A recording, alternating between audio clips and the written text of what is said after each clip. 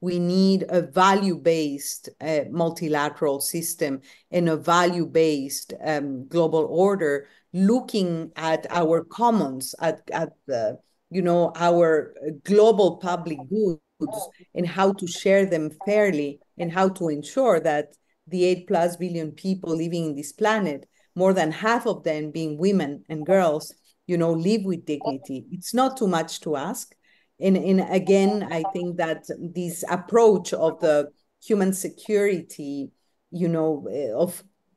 yeah, of the approach of human security can uh, and and perhaps should be used as as the center, you know, to re rebuild and rethink the overall multilateral system.